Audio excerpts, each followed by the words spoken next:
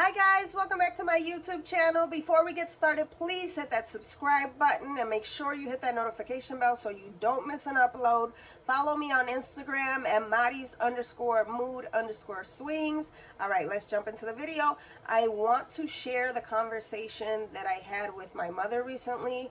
Um, as you guys know, I am back in therapy and she is one of my major, major um, baggages that I need to unpack um, I've never really talked about uh, my relationship with my mom with my therapist before. It has always been about my other trauma. Um, but I am understanding that in order for me to have a successful relationship, I need to begin to start I need to start the healing process with my mom. And boy has it been oh man, has it been tough, man. And and uh, so anywho, I and we don't talk like we don't call each other. We don't like we rarely hang out. Whenever we do hang out, it's because my siblings are getting together for whatever reason. And so we don't really seek each other out, you know? It's one of those situations where it's better for my betterment to love you from afar. It's just healthier for me um, because we have such a because we have such negative history. So recently, you know, I asked her. I said, "Can I come over so you can braid my hair?" I just needed really an excuse. And so I was over and she was braiding my hair and I began to ask her questions that my therapist was were would ask me like what did I see in my parents' relationship that I brought into my my romantic relationships. So I, I asked her to so I can kind of get an idea of where her mindset was when she was with my dad. And then I asked her what was her relationship like with her parents. And I'm not going to go into the things that she told me because that's her story to tell and I don't want to um, tell her story, I guess. Um, so, but I will say that her relationship with her mother wasn't the greatest. And as she was telling me, I told her that I remember um, this past Mother's Day, my sister and I took her out for breakfast, and I and I go, I go um, for my my sister. You know, my sister has a relationship with her it's not the greatest, but they still have one. So I decided to go with her. And then I remember um, at breakfast, at breakfast, she started um, expressing how she felt about her mom. And I just remember looking at her and thinking, like, you did the same thing to me. Like, you weren't the greatest mother to me. And I remember getting really angry. And then I stopped myself for a second and then I said to myself, do I want to have the mindset of of resentment or of bitterness or you did this to me and you did that to me and and just hold a bunch of anger? So in that second, I was telling her that um that I just chose to look at her as a human being, as as a woman that is is not my mother and to try to separate that. And um, I genuinely felt bad for her.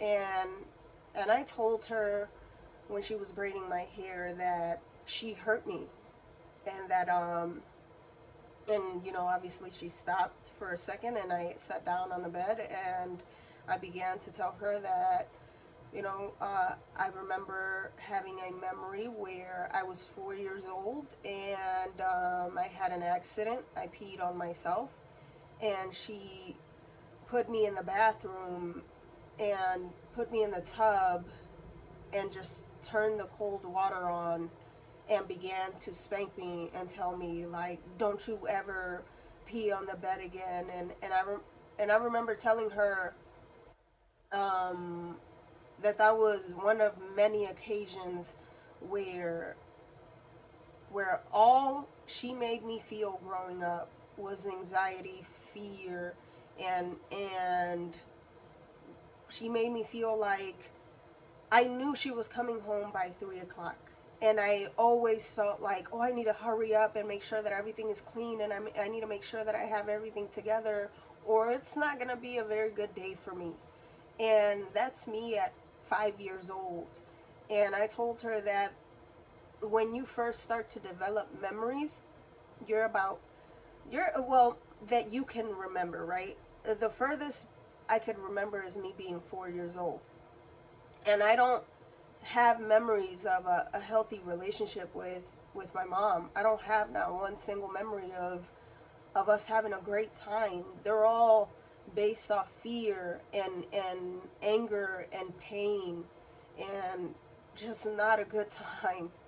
And, um, and I was expressing that to her and uh, and then I said, but now I under I'm starting to understand why you did those things. Um, you had a mother that was kind of doing the same thing to you, and instead of learning and and um, processing that and deciding to not be that way with your own children, uh, you didn't take that route um, because hurt people hurt people. And she decided to do the same thing. And then I started to understand that my mom got married at 14 years old. And in Mexico she was born and raised in Mexico. And she was she got married at 14 years old. My dad is only like 2 years older than her, so they were they were kids and and then they had their first baby around that time. So they were kids having kids, you know and then they had seven in total and back then they didn't have the resources that we have now and and i told her i understand that you were a child having children and you never got the chance to to get healthy to to really question whether or not you were a good mother to go and seek therapy to to ask yourself if you're doing the right or wrong thing um, I understand that when you were raising, uh, when you were with us and you were raising seven children, I, I, I don't understand where you would even have the time to even look at yourself. I'm not a parent, so those of you that are parents, I would love to hear your opinion. Um, but I can't even imagine what it's like to, to have to, you know, wake up, go to work, and then come home and get your kids like ready and clean and cook and all of that jazz for seven. And then you know at the end of the day think of well let me work on my betterment and let me work on my mental health and and all of those things. And and understanding that they didn't have those resources and they didn't even think like that back then they um, my parents come from a whole different era and they were born in a whole different country where they did things completely different than what they than what we do here. And um, so she looked at me and and she grabbed my hands and she said, Mari, can you please forgive me for all of my wrongdoings? She said, I am absolutely sorry for every single thing I have ever done. She said, I don't want to ask for forgiveness on my deathbed.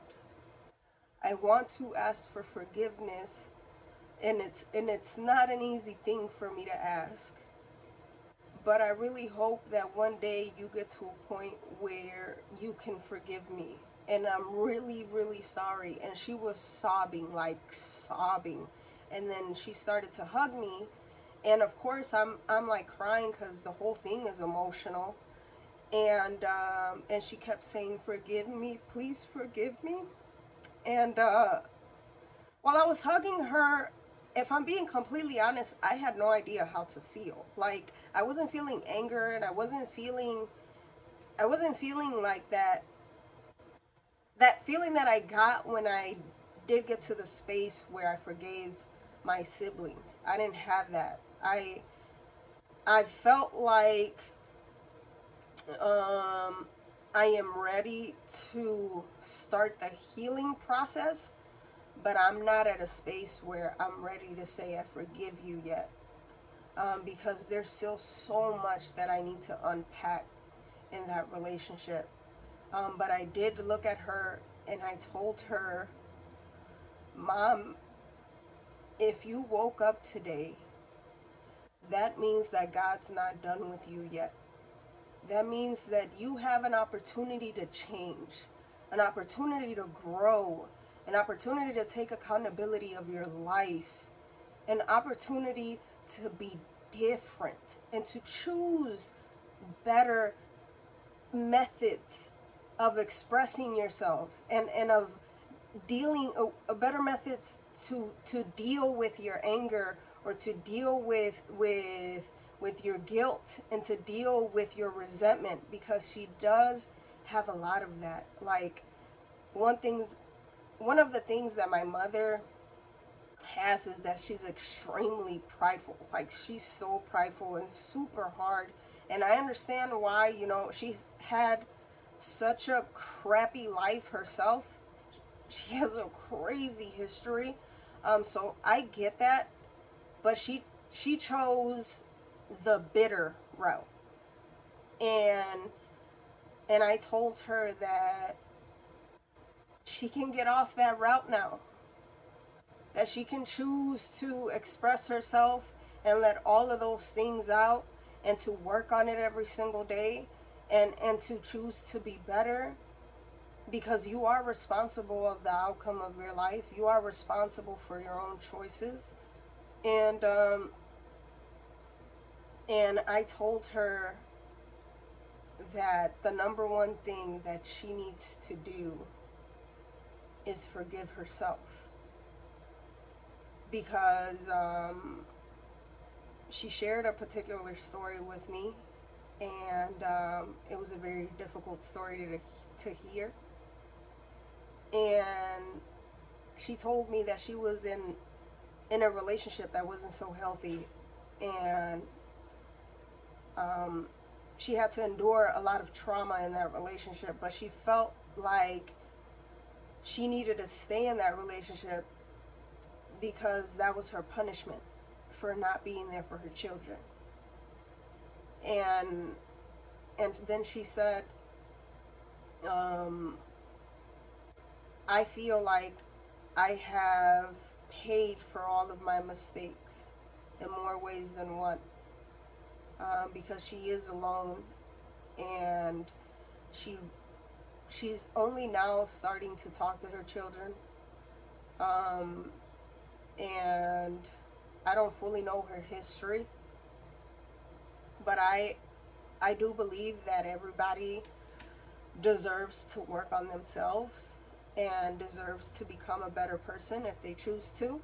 And I told her that where she needs to begin is is to start forgiving herself and and to understand that she doesn't have to carry that guilt that um we are all not perfect. We've all made mistakes, and um, that we all don't have the right to to tell someone that they can't change or they don't have the ability to change, because we really don't know. Um, or I used to be not that great of a person, and I will share that. And um, I made some mistakes in my life, and if and if I believed that that's who I was going to end up being, if my my life would have completely looked different than what it looks like today. I'm I'm glad that I believed in a change and second chances and and and a better life. So if you're out there and you've made some some really bad mistakes, understand that you have the ability to change it you have the ability to do better. Um, so I hope you guys enjoyed today's video or at least learned something from it. You know, I, I understand that a lot of people don't necessarily like the fact that I give my parents a chance because of my history. But if I, like I've said before, I want to be a woman of growth. And I want to be a woman that changed generational curses and breaks generational chains. And in order for me to accomplish that, I have to look at my parents as individuals and not my parents. I have to understand their history and where they come from. Because at the end of the day, we're all human beings and we all have a background. And, and if we just point the finger and judge, then we're not going to progress. All right, guys, I hope you enjoy your week. I love you so, so much. And thank you for just being here once again and for just being on this journey with me that has been so life changing. And man, I'm just so filled with hope. And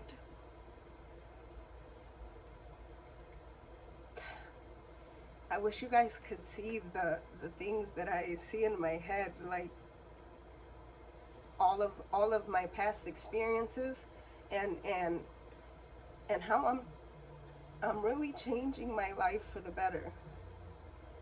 And um, so thank you for being on this journey with me. I love you so, so much. I hope you're doing great. Enjoy the rest of your week. Be kind to yourself and go out there and show people love because as you know, there's definitely, definitely not enough of that. All right, guys. Love you. Bye.